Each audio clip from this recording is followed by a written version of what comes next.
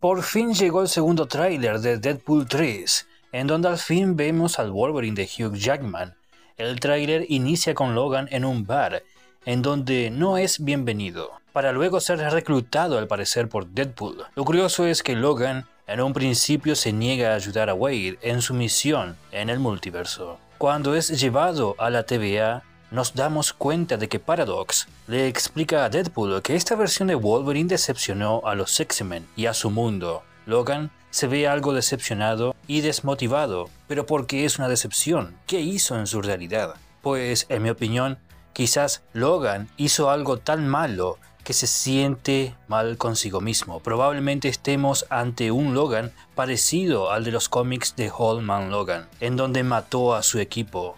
En el tráiler también vemos cómo esta versión de Wolverine tiene problemas para desenfundar sus garras, tal cual como en la película del 2017 del viejo Logan, una referencia. A pesar de que Wolverine usará su traje que le cubre su cuerpo completo, también lo veremos con el traje clásico como en los cómics, en donde Logan deja ver sus voluminosos y grandes brazos.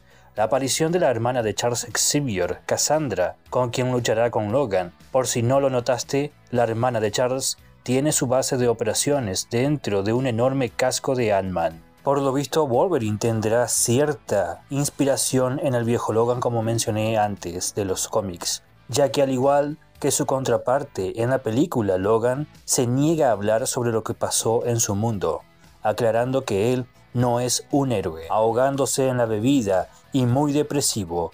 Por supuesto la aparición también de Dogpool, una versión alterna de Deadpool que sufrió experimentos y torturas volviéndose inmortal, debido a su factor regenerativo. Sin dudas esta película la va a romper y puede ser la salvación del MCU. En lo personal, se me despertó el hype que tenía anteriormente por las películas de Marvel.